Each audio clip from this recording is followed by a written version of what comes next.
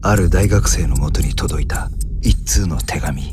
その差出人は久しぶりだねマー君。24人を殺した。連続殺人鬼。だった。君に頼みたいことがあってその9件目の事件は僕がやった事件じゃないんだ。どういうことですか？僕以外の誰かが犯人だってことだよ。まだ本当の犯人はあの町にいるかもしれない。死刑に至る病。今それを知ってるのは君と僕だけだ。